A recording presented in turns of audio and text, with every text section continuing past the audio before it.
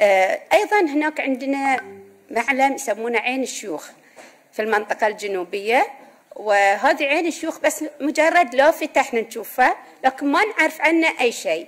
يعني إحنا ودنا إن أبنائنا يتعرفون على هالآثار القديمة ومسمياتها ومواقعها نريد يعني تكون هناك لوحات خاصة آه، يكتب عليها تعريف لهذه المنطقة متى أنشئت متى صارت آه، هذه العين متى كان يعني هي موجودة من قبل متى آه، اندثرت فتكون معلم سياحي أيضا.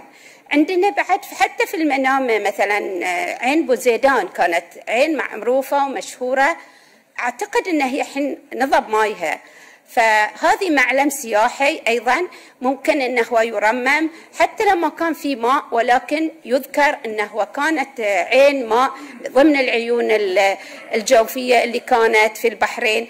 يعني والبحرين مليئة بالعيون الجوفية في كل مناطق البحرين في المحرق في آه، سترة في المنامة في منطقة جو وعسكر. هناك كانت عيون كلها اندثرت يعني نريد الاهتمام بمواقعها مثل ما اهتموا الحين في شجرة الحياة والسياح يروحون يفيدون لها في مناطق ثانية بعد ممكن الاستفادة أنهم يفيدون إليها. واستفادة يعني نحفظ هذه الآثار وبالإضافة إلى الاهتمام فيها كسياحة.